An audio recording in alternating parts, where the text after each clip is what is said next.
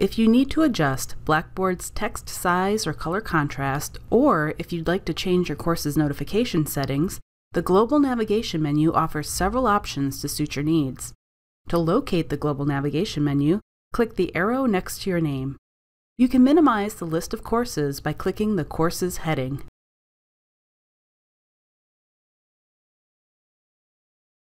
Click Settings and a number of options appear. Select Change Text Size to learn how to adjust the text size in your browser window. Select High Contrast Setting to turn off Blackboard's built-in styles and use your operating system's color settings instead.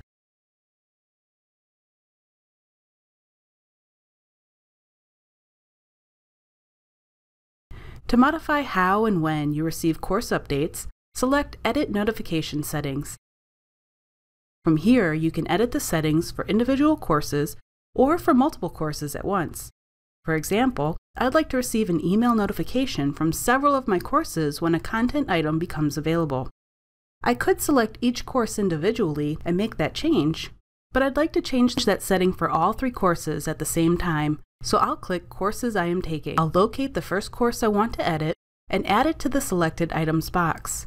To select more than one course at a time, I'll hold the Control button while selecting the courses.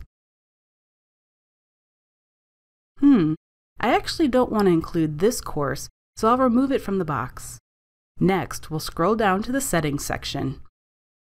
Items that are checked are active notification settings.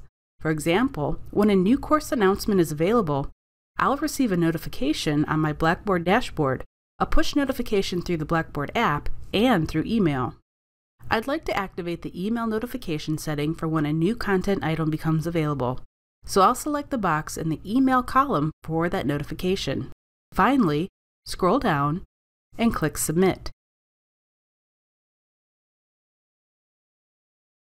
The changes are saved. The Global Navigation menu is a convenient resource for making adjustments to the font and color settings in Blackboard's environment, as well as your course notification settings.